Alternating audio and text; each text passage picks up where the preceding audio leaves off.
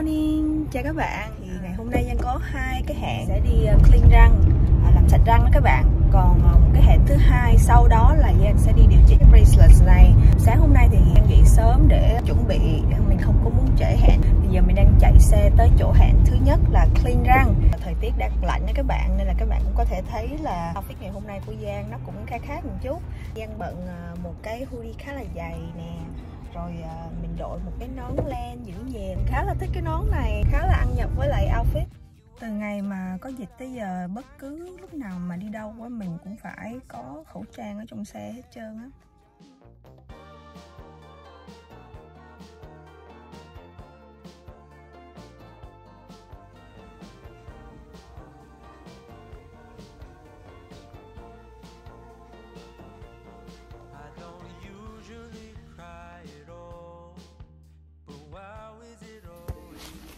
How are you today? Good. Long time no see I know. How are you? How are you? Ờ, Giang đang còn ở ờ, trong phòng khám đợi bác sĩ chính người ta sẽ vào người ta clean răng cho mình bởi vì cái chị hồi nãy chỉ là cái cô phụ tá thôi mình rất rất rất là thích cái phòng khám này bạn nào hiện đang ở San Jose á, thì các bạn nên tới check up vì mỗi lần mình tới phòng khám này á, cái nhạc thôi là mình cũng đã thấy thích rồi để các bạn có thể nghe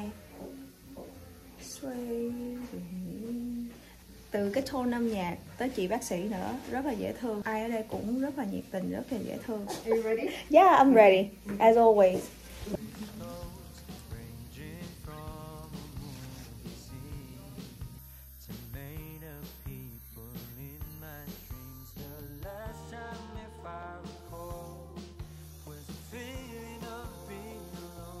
Wrap the floss around the tooth, okay? And then move it as high up as possible into Ah. the gum line, gum pockets. Wrap the cloth around, okay? And then do a scraping motion à, like that. Floss á, mà em chỉ gọi là go in and take it out, then it's not gonna clean much. So make sure that you go underneath the gum, go into Ah. the gum pockets, okay?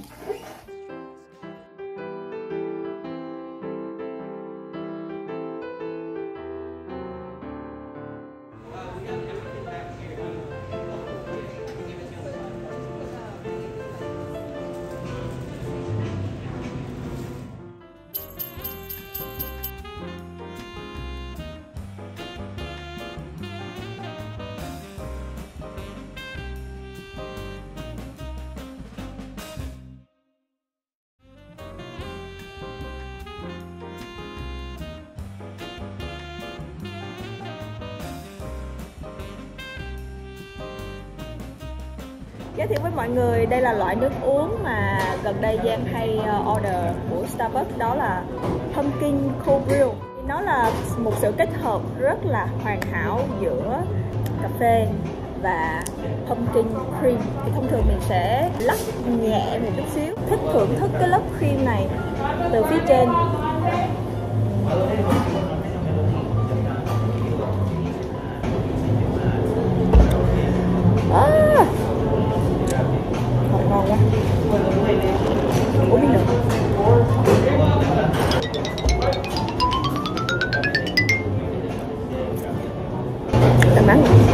Nào mà thích pumpkin á thì các bạn có thể thử qua cái loại này của Starbucks. Nhưng chắc chắn với các bạn là các bạn sẽ rất là thích giống như Giang. Sẽ chỉnh cho cái này lên mình thấy là một bên cao bên thấp. Có nghĩa là trước đó thì em không có cái tình trạng này. Nhưng mà như em em nghĩ là dự do cái phần cái ri nó điều chỉnh lên điều chỉnh xuống á nên là nó cái này nó cũng ảnh hưởng theo. Tức là trước khi có braces là em không có bị vậy đúng không? Cái răng của em trước khi nè nó ngang. Còn tự nhiên bây giờ giống như là một bên cao nó nói với chị là niềng răng là nó nó nó làm thay đổi khuôn mặt mình. Cái nha giống như cái mặt của em trước đó em còn thấy nó bị lệch nữa chị. Mấy góc nghiêng của em thì khá là ok nhưng mà cái góc góc chính diện á, thì mình thấy cái khuyết điểm của mình cái má của mình nó không có cân xứng với lại nó hơi bị, bị phính quá. Giờ nè chị thấy không? Thẳng luôn. Nghĩa là khi mà mình mình răng á mình mình ăn ít lại không? Mình, ờ, mình giảm cái cái lượng khi mà mình đau quá mình ăn ít lại. Thật sự ra á, là tại vì cảm thấy phiền khi cứ phải ờ, vệ sinh đó chị thì em mới ấy thôi. Chứ có nhiều người nói là ồ niềng răng phải đi ăn cháo rồi này nọ. Đúng không em em thấy em đâu ăn cháo rồi em không ăn cháo được chị. Mình phải chỉnh cho nó thẳng ra trước rồi bắt đầu mình cho cái level của cái răng nó đều em hiểu à so sometimes á là bé Giang sẽ thấy nó getting worse rồi sao nó như vậy. Nó không nhưng mà trong cái quá trình này là at the end nha khi mà em finish rồi everything rồi em thấy là nó đẹp. Ok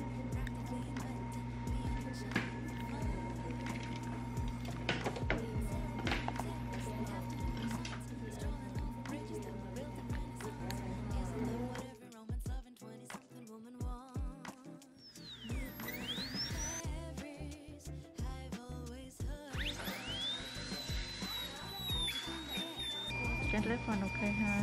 Cái mình chỉnh lại luôn cho nó. Cái này nó nghi nè. Ao lại chưa trời ơi muốn gãy răng luôn. Ôi trời ơi đau quá. Ráng ráng ráng ráng. Giờ cảm giác có ai còn kèm nhổ răng mình coi coi còn cái nào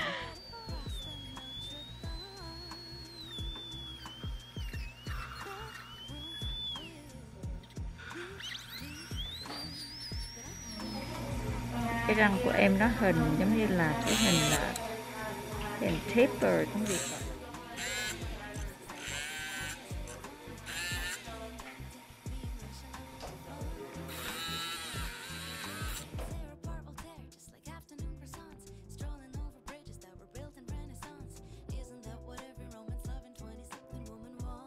cái răng em chụp chắc hôm nay về, chắc ăn cho luôn. Ở như thế nó ê hơn ta. Hả? Ê, hơn ừ à, thôi một cái qua này nó dày ngồi cái dày hơn cái gì vậy? này À, trời đó nó dài hơn còn thấy đau đớn vậy. Chứ nếu mà hả bấm cái kêu chắc em chết. Lẽ vui vẻ nha. Ăn cái gì nhẹ nhẹ thôi trời ơi giống như là đeo một cái dây mà dây dày hơn thì nó lại đau hơn hả chị? Ừ. mà tại sao? Ý là tại sao? Khi mà start á là mình sẽ tạt vào cái dây mỏng cho bắt đầu cái răng của em nó sẽ cái răng của em khi mà bỏ vô nó lên lên xuống này đúng không? Cái răng của em đâu thẳng đâu dạ. Thì cái quai mỏng á cái dây mỏng á nó bắt đầu nó bị engage được hết những cái cái, cái bracket trên cái răng của mình. Nó làm quen nó làm quen với Ừ. xong bắt đầu cái răng của mình nó từ từ nó mu từ từ mu thì khi mà mỗi cái độ răng của mình nó mu á thì nó nó ready cho những cái dây dày hơn. Ừ. hiểu không? Khi mà cái răng của em nó được lên cái dụ ngày xưa nó dày đi dạ. xong từ từ nó dày thì bắt đầu những cái quai dày nó sẽ em đây đây bắt đầu nó sẽ chỉnh chỉnh chỉnh chỉnh chỉnh như này. Ngày xưa răng mình nó tùm lum gì đi thì chỉ có quai mỏng nó mới engage được những cái những cái, cái răng đó thôi. Nhưng cái quai mỏng thì nó flexible flexible thì nó còn cái quai dày thì nó dày sẽ hơi khó. nó khó. Khi mà quay về này khi mà răng của em nó gần thẳng hết rồi nha À. nó gần thẳng hết rồi thì bắt đầu ví dụ bây giờ còn chút rồi đi ừ. thì cái quay về nó ready để để vô này chỉnh chỉnh một cái là xong luôn. À à hiểu rồi.